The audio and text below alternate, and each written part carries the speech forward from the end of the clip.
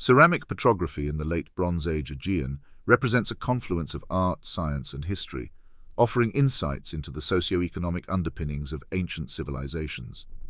The Aegean region during this period was a crucible of cultural and economic activity, with ceramics playing a pivotal role in the narrative of commerce and cultural diffusion.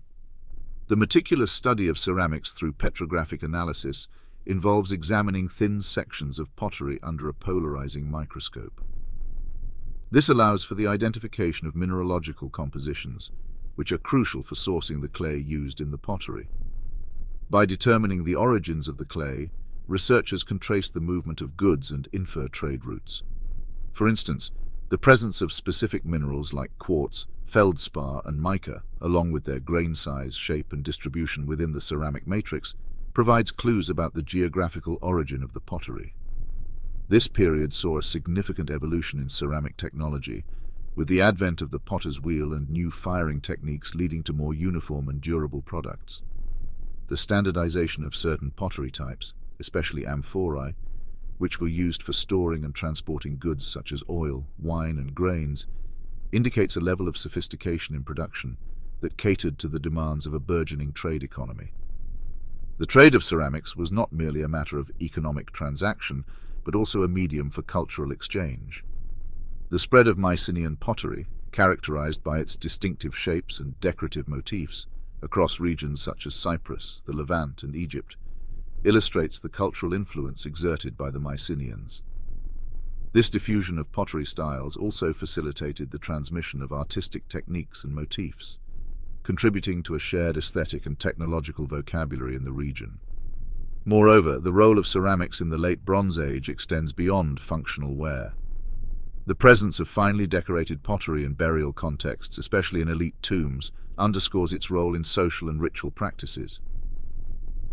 The exchange of such luxury items was likely a display of wealth and power, further entwining the economic and social fabric of these societies. The collapse of the Bronze Age civilizations around 1100 BCE, marked by the destruction of palatial centers and disruption of trade networks, is reflected in the archaeological ceramic record. The sudden decrease in the distribution of Mycenaean pottery and the appearance of new ceramic styles suggest a profound socio-political shift likely resulting from a combination of factors including natural disasters, invasions, and internal decline. In the realm of ceramic compositional analysis, the intricate details of elemental and mineralogical composition gleaned from techniques such as X-ray fluorescence, XRF, neutron activation analysis, NAA, and inductively coupled plasma mass spectrometry, ICP-MS, offer a profound level of insight. For instance, the trace element signatures identified through these methods allow for the distinction between local and non-local pottery, thereby mapping out trade networks with remarkable precision. The isotopic ratios, particularly of strontium and neodymium, serve as geochemical fingerprints, linking ceramics to specific clay sources, often pinpointing the geological provenance with astonishing accuracy. Furthermore, the examination of slip and paint composition on ceramics particularly the use of rare pigments or unique tempering materials, can indicate specialized production centers and trade routes specific to certain luxury wares. This level of detail extends to the study of kiln technology, with variations in firing atmospheres and temperatures discernible through the examination of vitrification levels and crystalline structures within the ceramic matrix.